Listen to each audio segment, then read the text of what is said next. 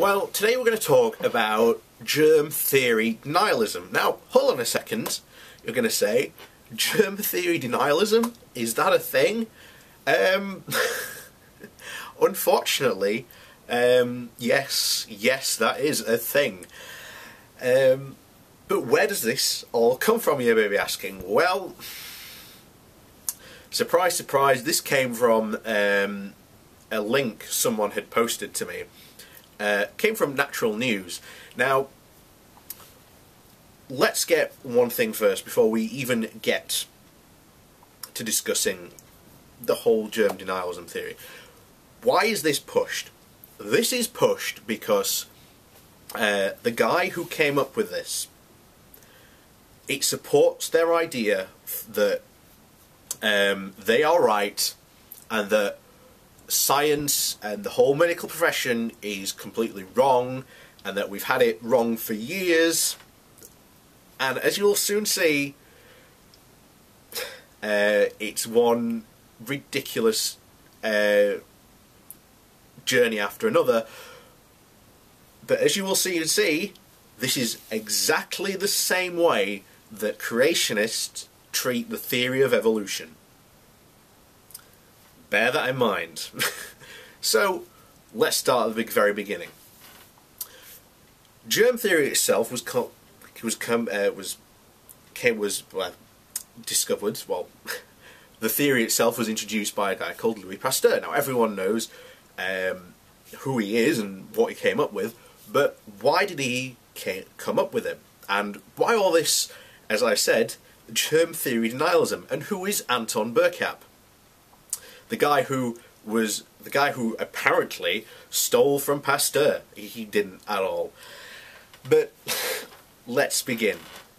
So, way back, um, the early sort of late 1800s, France was going under a huge um, drive for silk, but a massive problem happened. Um, there was a huge um, they didn't know what it was, but something was causing silkworms to die off um, massively. Now they discovered that it was this um, germ that was causing it, and they wanted to know. They the it's the silk entire silk industry of France commissioned the Academy of Science to find out what was going on, and along comes uh, Louis Pasteur and um, and and Becamp or De Camp, I think it's the thing that's how you say. I nearly forgot his name then. Um, so, what did they do? Well, both came um, for their theories, but both came from it from very different ends. Now, we'll start with Becamp because at the time, the prevailing theory had been, at that time, was that all disease was caused by a miasma. Now, miasma is a series or a environmental factor that causes the germs to grow. So it's not the germs that are the cause of your disease, it is the environment that causes these germs to grow from the disease. Now all of a sudden, as I said right at the very beginning, this supports their, you know, the naturalist view of disease.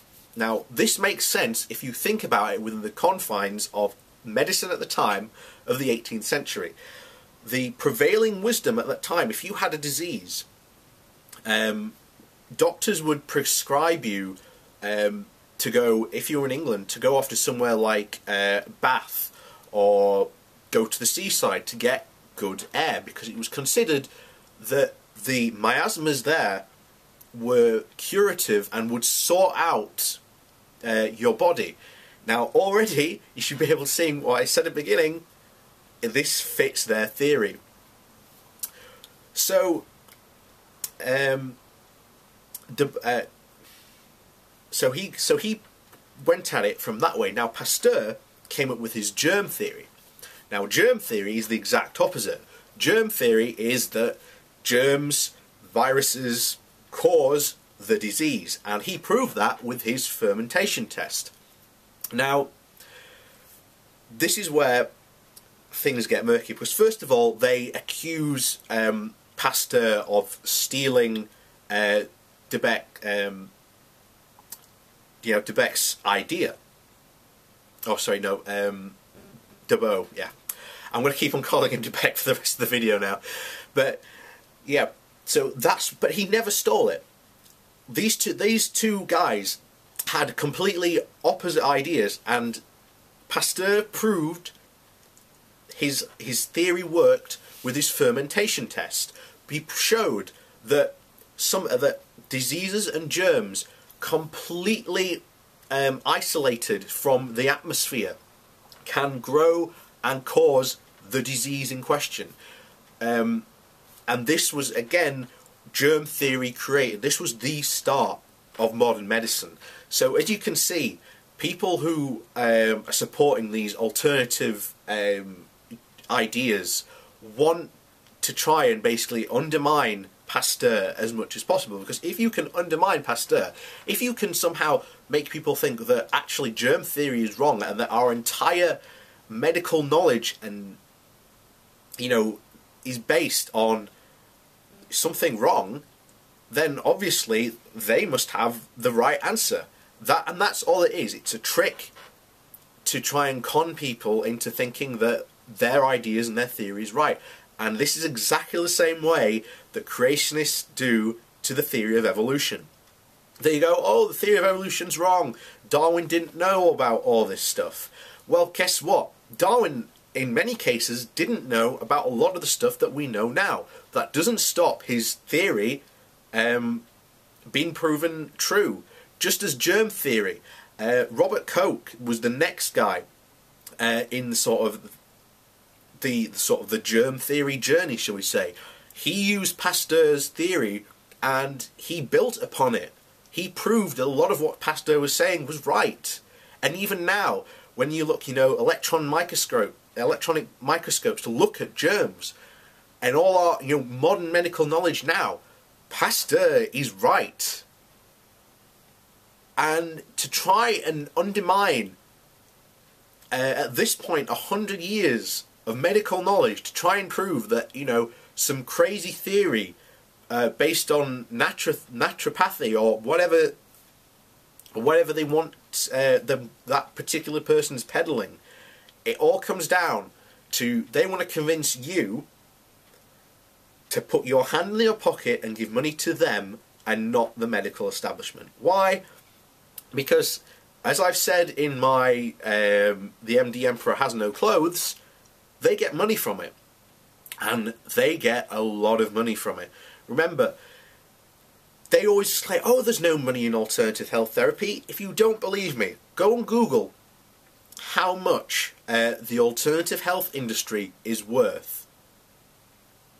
And then come back to me and say that there's no money.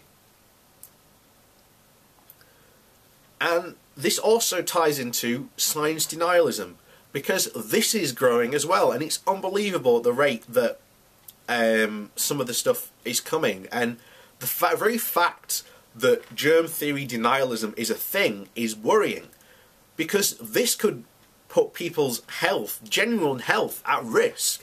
I mean, what if someone actually in power um, was believed uh, in this thing that they believed that you know Louis pa- Louis Pasteur was um, you know, a faker and, you know, actually, you know, Bando, you know, um, but, you know, uh, the other theory was correct all the time. You know, that we could waste, end up wasting, you know, hundreds of thousands of pounds looking into a theory that we know goes nowhere and we've shown goes nowhere.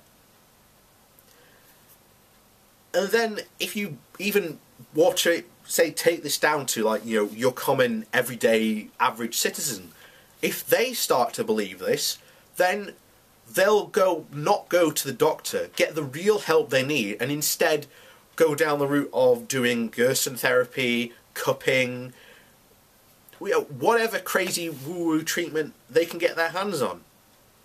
And then they'll put their lives at risk and then they'll die as, as a result. And this is why we need to um, challenge these people and say, hey, what you're saying is 100% wrong.